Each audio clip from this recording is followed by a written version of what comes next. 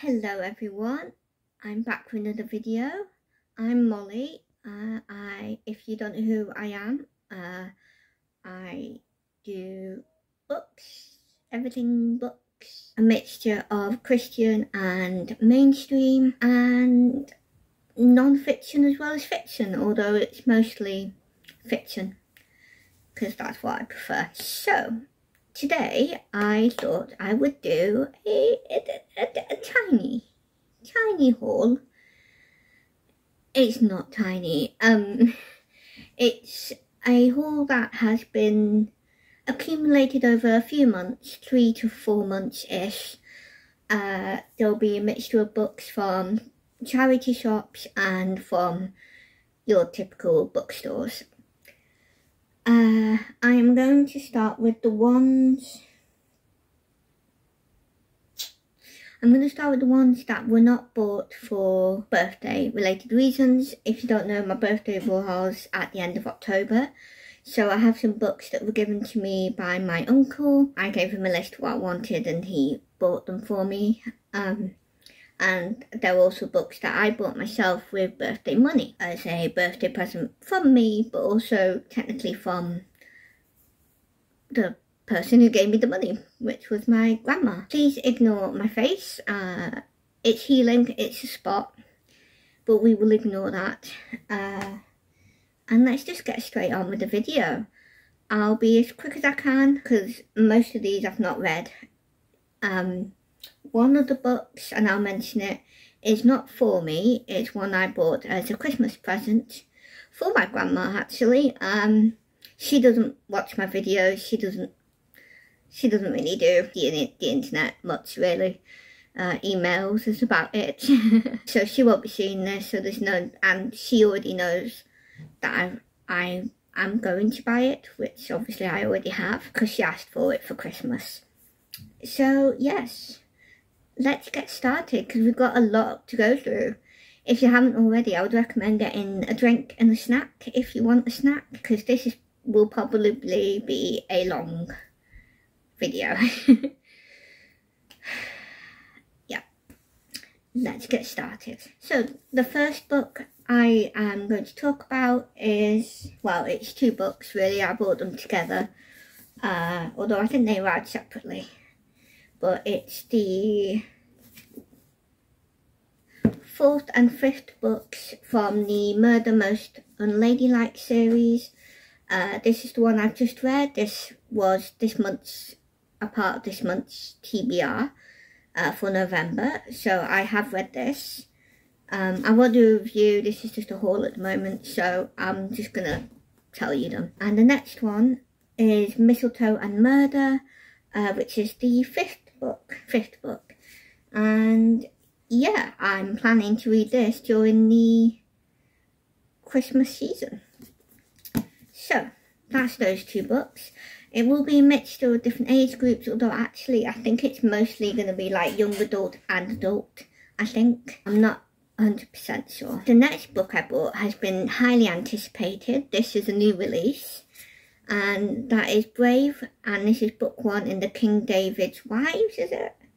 Brides, book one in King David's Brides. This is a biblical fiction by Mesu Andrews, and I've been waiting for this. I pre-ordered it, and I'm really excited. I wanted to read this in October because this would have fulfilled prompts in Katie from Paperbacks and Ponytails' readathon for October for the Journey Through the Bible and it was also the buddy read if people wanted to join in but I wasn't able to get it in time. So I will be reading this at some point.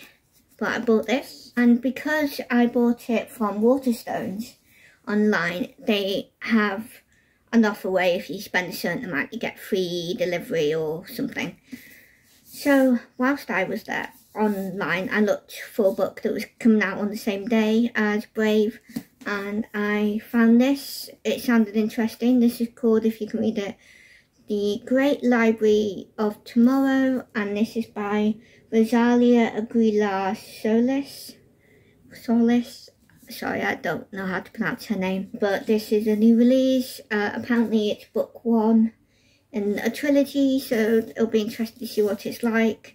This is mainstream as far as I know, so I don't know about content or anything like that, but I liked the cover and it sounds good because it's about a library, or at least the title sounds like it's about a library. So yes, this next one is the one I just mentioned um, that I bought for my grandma. Uh, and this is called Just Different, um, a memoir by Wayne Sleep. And this is about a ballet dancer of the name Wayne Sleep. It's a memoir, as it says. Uh, he paved the way for male ballet dancers who were shorter than the average of what people were looking for in ballet dancers. Uh, Grandma really likes him. I think he was, either he is the original Billy Elliot or he's the, the first one who danced slash acted as Billy Elliot in, I assume, the stage play ballet of Billy Elliot. I'm not sure which it is, but either way, uh, Grandma wanted to read it. It's a new release. Uh, it only released at the end of October. So yeah, and that's a picture of him, I think, reasonably recently. I don't know what it's like, but Grandma thought it sounded interesting, so yeah. The next book that I bought, um, these are all from different places, so all the ones I just told you about were online, a mixture of Amazon and Waterstones so far. This I bought in person at a small bookstore in Lytham St Anne's, which is kind of on sort of on the coast. It's on the way to Blackpool here in the UK, uh, but it's uh, quite quite a bit before then. Um, I've been loads of times over the years, only once, maybe twice in a year normally, because it's the sort of place you want to go to when the weather's quite nice, which if you know anything about the UK or you live here, you know that's not always easy. So yeah, um, this is one of the books I picked up. This is Nero by Con E. Golden. I don't know how to pronounce his name. Uh, this is on my current TBR for Historiathon because obviously it's about Nero. I don't know how much Nero is involved in the book, but uh, yeah, I'm using it for the non-fiction hybrid prompt as well as one, maybe two other ones, I can't remember. Uh, so yeah, it sounded interesting. I saw this in Tesco originally, but I just took a picture of it because I was like, I can't really get it yet because it was quite expensive.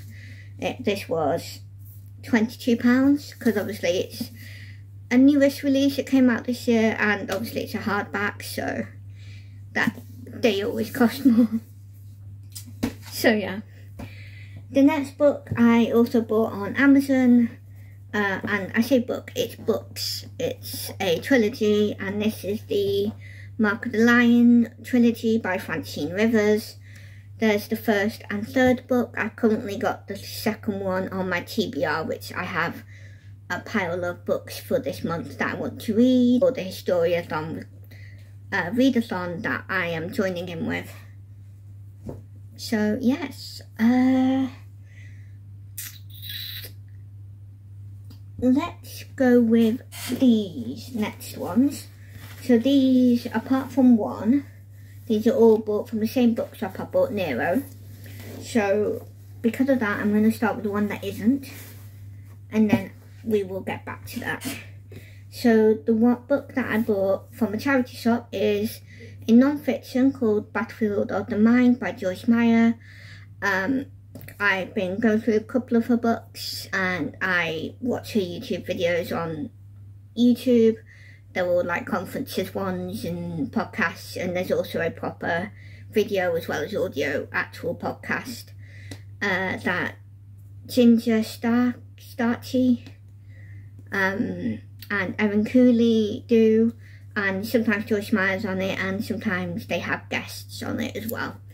But this book is Joyce Meyer's Battlefield of the Mind. I picked it up at a charity shop for, yeah, I think it was £2, wasn't it? Yeah, so I got that for £2. And that was just a, something I picked up at a charity shop because it would be more expensive if I bought it full price. And I wasn't, I was actually on a book ban which obviously was a very light one. It was more that I was watching what I was buying, spending because of money. uh, but I saw this and saw it for £2 and I was like, it's worth that. Um, I, I think a book's really worth paying full price because obviously they all go to good cause causes. But yeah, I couldn't pass this up because normally full price this is £11. Okay, I think it's gone. Yeah, I can't remember where I'm up to. Someone came upstairs, got someone over. Um, so yeah, two quid.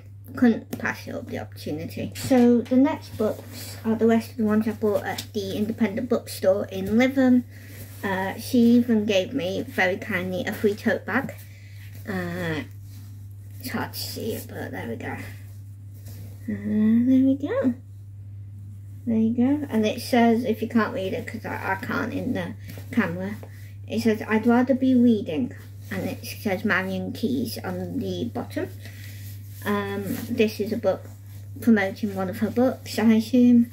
I've never read her books, but it was doing, it was one of the ones she had available, and I, I don't mind. It's a nice colour. I like the shade of blue and the pink. But so yeah, maybe I'll have to try one of her books to justify having this bag. Not that I need to justify having the bag, but you know, yeah. So, the second book that I picked up at that bookstore is the Book of Doors. Sorry, it's because I'm reading it and it's backwards when I'm filming. Uh, yeah, The Book of Doors by Gareth Brown. I've heard I've heard things about this and I think it sounds good. It's right up my street, sort of other Mm, not maybe not other worlds, but you know, that sort of thing. I don't know. Anyway, it sounded interesting. I thought I'd pick it up. So that is that one. The next book I picked up is the the rise. Sorry. Rise of the School for Good and Evil. This is by Soman Chainani. I loved the main series, which is The School for Good and Evil. Fantastic kids uh, series and the main series is about the descendants of your classic fairy tale characters. Uh, but obviously there are some twists to it which is really interesting. Um, definitely recommend it. Um, and this is kind of like a prequel so this is about the uh, these two brothers I think the twins. I'm not sure. They might be twins or at least you know either way they're brothers. And I as the title goes, it's the rise and I assume that about the creation of the school. So this will be interesting to read.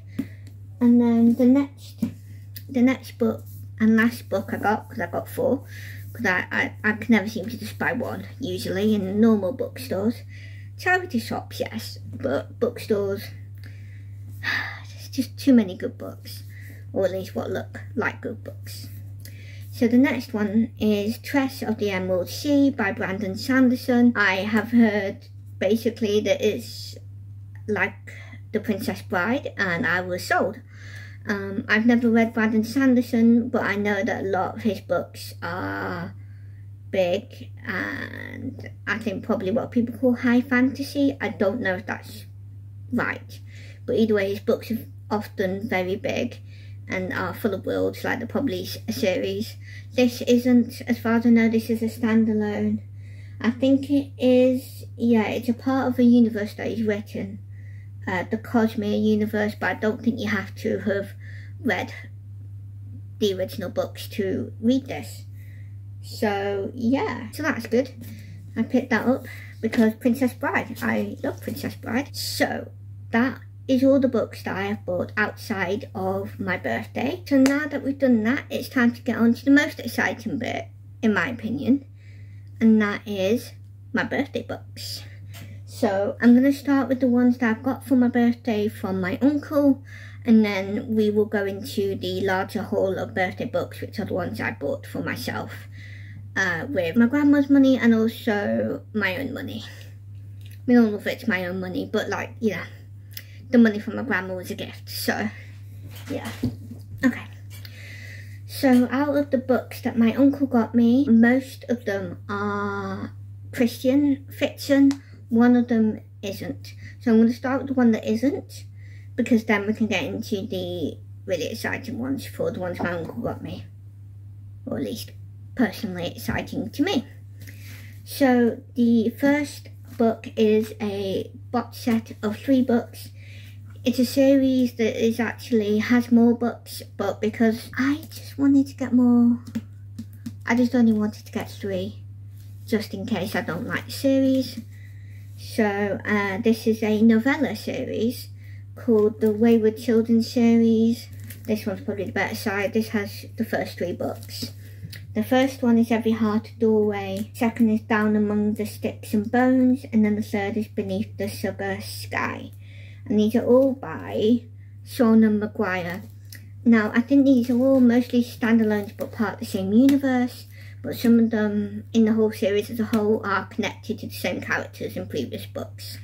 I don't know which books they are, but I know from Alexandra Roslin, who is a, a mainstream booktuber here on YouTube, she has raved about this series and pretty much from the beginning like these are from like really old videos because uh, I went through her backlist and I'm still going through them. So yes from her reviews I bought these because these are based on the children as I think as adults I think or certainly after they come back from different worlds. So for example like Alice in Wonderland when she comes back to the real world you know how they deal with being back in the normal, non-magical, non-fantastical world.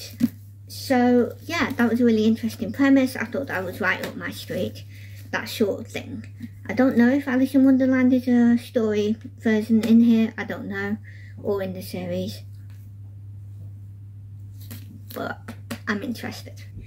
Now it's time to get to the Christian ones. Oh I'm so excited. Okay, so I'm going to start with the ones that aren't part of a series.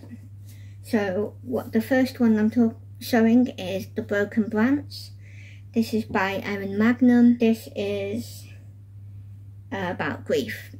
Uh, because main character, and this is on the blurb, her dad dies in a car accident. And I recently, unexpectedly, although not because of an accident, lost my dad uh, he died at the end of January, uh, July, sorry.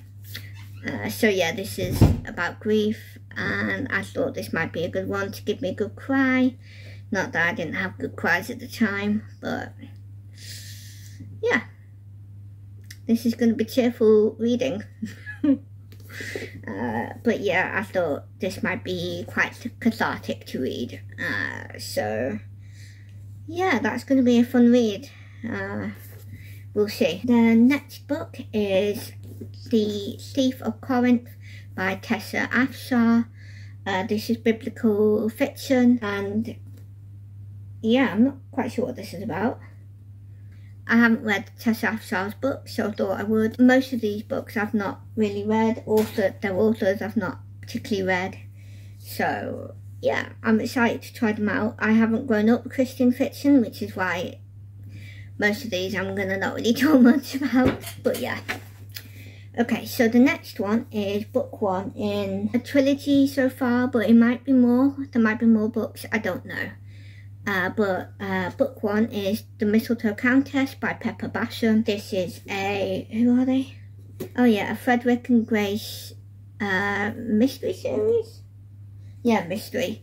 Um, so this is the first one. I'm hoping to read this during the, the Christmas season, hopefully next month specifically, because it's set at Christmas due to the title, I'm assuming. And the reason why I wanted this series is mainly because of the second book, The Cairo Curse by Pepper Basham.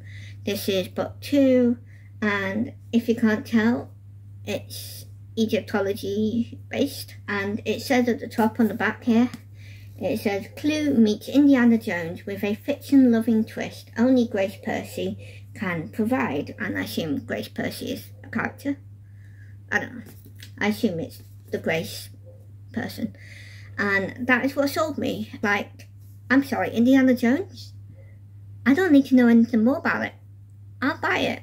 But then I, well, I can't really buy it on, on its own because it's part of a series. I like to kind of read the series if I can. So that's what this is. And that's all of the ones I got from my uncle. Now we get on to the ones where I just had several different book sprees, basically. I say several, it's technically only two, but yeah, with the amount of books that I bought, you would think it's several. All of the ones that I'm showing you now are Christian fiction. The ones that are in this bag that you can see the corner of here are from Waterstones. So none of these are actually Christian. Uh, so that I'm leaving those for last apparently. Uh, but yeah, because really these ones are the most exciting ones because these are the ones that I've heard a lot about, either the author or the book in particular. So yes. So all of you people who talk about a certain author who does a certain time series. I bought book one. And then I bought book two. Yeah! So this is book one and two of the Timeless series by Gabrielle Meyer. First one is When the Day Comes and the second one is In This Moment. So many people on Christian BookTube has been talking about this series. So many that I'm like, this has to, I have to give this a try it's certainly the sort of thing that's up my street, the sort of like time, different timeline type things, uh, because these are to do with a character having at least two timelines to choose from to live in, and she has up until a certain age to try each one and then choose one to stay in. And I think what happens is she goes to sleep and wakes up in the other timeline after spending the day in that other timeline. so in the first one, this is about someone called Libby, and she's in 1774 Colonial Williamsburg, and in 1914 Gilded Age New York City. And that's book one. Book two is, and I think they're descendants of the same one, either like daughters or granddaughters or whichever of the same family, I think. Or at least that's the sort of thing that I've heard. Um, so the second one is about a woman called Maggie, and she's living in separate lives in three timelines in this one. So she's in 1861 at the outbreak of Civil War, I assume in America. Um, 1941, which is obviously World War II. And then 2001, which I think is, I don't know if it talks about the Twin Towers being destroyed in 2001. I know it's just the right year for it. So it might be tackling that as well, I'm not sure. Um, but yeah, so that's the first two. I didn't buy the third one yet. I don't want to buy them all. I was tempted, but I didn't because I, if I don't like it, I don't want to have the whole series that I've spent money on. So I bought the first two because they were to arrive on the same day. Yeah. So, and I didn't want to have just, just one book arriving on different days, so it's a good excuse. so the next one I'm going to do is the first book in the Matchmaker series by Jen Turano. This is called A Match in the Making.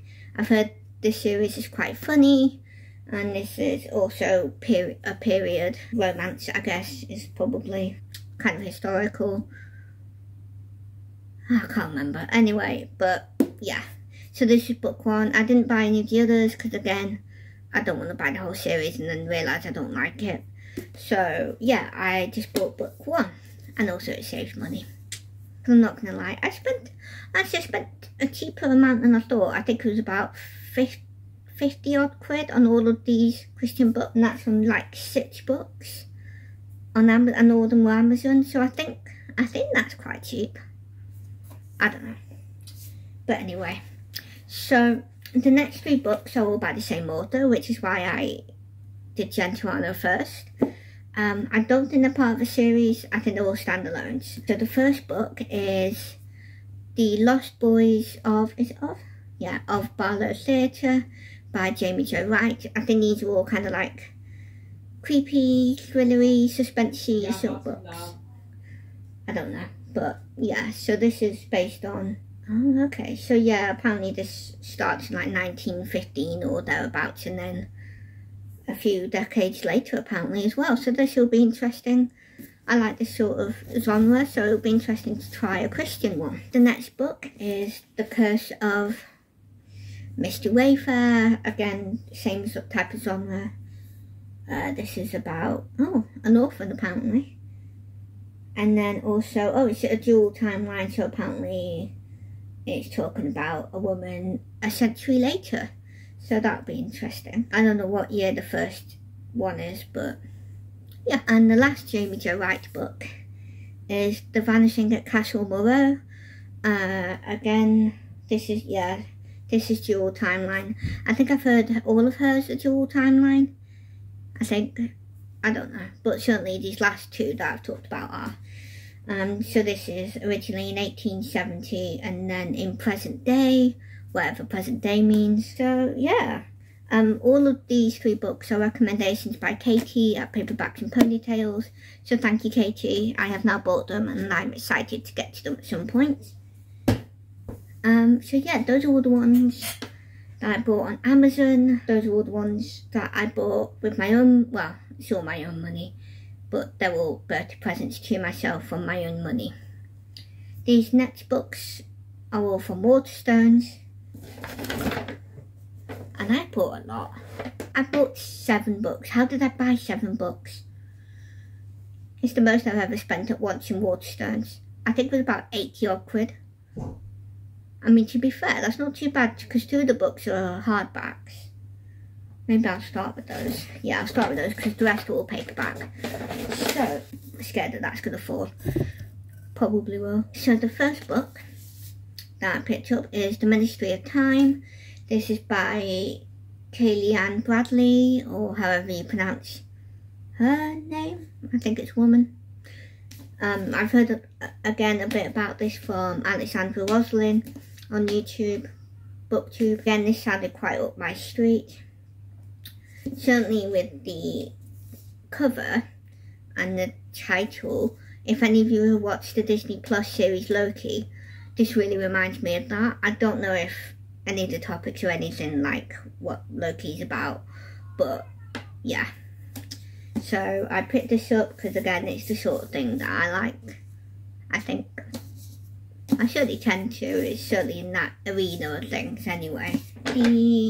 So the second and final hardback that I got is The Spell Shop. This is by Sarah Beth Durst. Um, again, I've heard a lot about this on BookTube, especially mainstream secular BookTube. I know there are some things to watch out for. Um, I know this also has LGBT content, so I don't know what it's about really. I know it's a cozy fantasy and I know that it's to do with witches or a witch. So yeah, I like the cover though. I mean, I would say that's a cozy fantasy cover if I ever saw one, wouldn't you? so yeah, that's my last hardback. Now let's go to the paperbacks. So, I might take these two out. Not necessarily because they're the same author, although actually, no, they're not. um, it's just because, yeah, didn't matter either way it fell. At least it didn't fall on the floor though. So, the first book I'm going to show you is um, A Dark Shade of Magic by V.E. Schwab. This is the same author called Victoria Schwab because I've heard she goes by, well, it's the same name but different variations of her name. Um, I've heard this really good. Again, this is about kind of like time travel type stuff, I think, or at least space travel. Apparently, there's like different types of Londons. I'll tell you the blurb, it's only short. Um, so, Kell is one of the last travellers, magicians with a, a rare ability to travel between parallel universes connected by one magical city.